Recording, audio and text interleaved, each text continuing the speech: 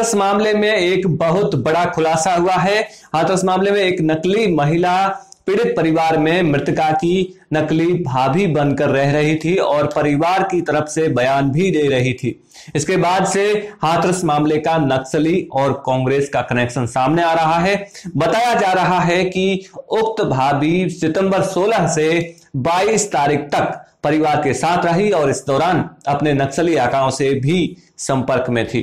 हाथरस मामले में कथित फेक, भाभी के कथित नक्सल कनेक्शन और मार्क्सवादी कनेक्शन के बाद सोशल मीडिया पर अब इसके कांग्रेसी संबंध का पर्दाफाश हो गया है। मीडिया रिपोर्ट्स में इस महिला के बारे में दावा किया जा रहा था कि वह पीड़ित परिवार वालों के घर में मृतका की फेक भाभी बनकर रह रही थी। यह भी माना जा रहा है कि यह महिला मीडिया और पीड़ित परिवार से मिलने आ रहे राजनीतिक दलों से क्या और कैसे कहना है, इस बारे में परिजनों को सिखाने का काम करती थी। हाथरस में पीड़ित परिवार के घर में नकली भाभी बनकर रहने वाली आरोपित डॉक्टर राजकुमारी बंसल अब लगातार अपने बयान भी बदल रही है और पीड़िता की भाभी या बहन होने से भी इनकार कर रही है। वहीं ट्विटर यूज़र्स ने कथित नक्सली महिला का कनेक्शन कांग्रेस से भी होने का दावा किया है।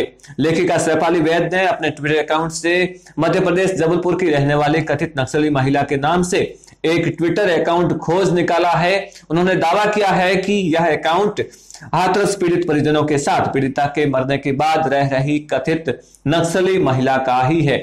सैफाली वैद ने डॉक्टर राजकुमारी बंसल नाम से इस ट्विटर अकाउंट का स्क्रीनशॉट भी शेयर किया है। आपको बता दें कि पीड़िता की असली भाभी ने भी अपने एक बयान में उनके घर में दो सप्ताह से रह रही कथित नक, नक्सली महिला का नाम भी राजकुमारी ही बताया है, पोस्ट किए गए स्क्रीनशॉट में सफाली ने कई और खुलासे भी किए हैं। इस महिला का नाम डॉक्टर राजकुमारी बंसल बताया जा रहा है, जो कि जबलपुर, मध्य प्रदेश की रहने वाली है। अपने पोस्ट में सैफाली ने कांग्रेस को भी आड़े हाथों लिया। हाथरस घटना के पीछे राहुल गांधी और प्रियंका गांधी द्वारा रची गई साजिश की ओर भी सैफाली ने इशारा किया।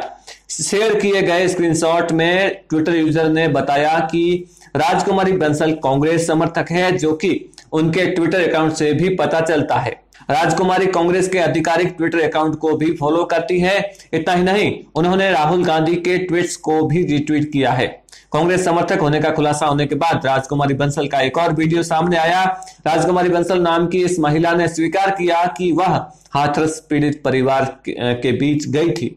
उन्हें इस वीडियो में यह कहते हुए सुना जा सकता है कि वह फॉरेंसिक एक्सपर्ट है और इस संबंध में ही कुछ मदद करने के लिए वो हाथरस गई थी। राजकुमारी बंसल, अब लगातार बयान भी बदल रही है। हाथरस में पीड़ित परिवार के साथ बैठकर एक टीवी चैनल के साथ बातचीत में राजकुमारी ने कुछ ही दिन पहले कहा था कि वह उनकी बहन है, जबकि अब नए बयान में उन्होंने खुद कहा है कि उन्होंने कभी भी खुद को परिवार का सदस्य नहीं बताया। कहा जा रहा है कि वो घटना के दो दिन बाद ही पीड़ित परिवार के साथ रहने आ गई थी। तो फ़िलहाल इस खबर में बस इतना ही। इस बारे में आपका क्या कहना है? कमेंट करके ज़रूर बताएँ। वीडियो को ज़्यादा से ज़्यादा शेयर कीजिए, लाइक कीजिए और ऐसी ही खबरों के लिए अपना इंडिया चैनल को सब्सक्राइब कीजिए। जय हिंद, जय भारत।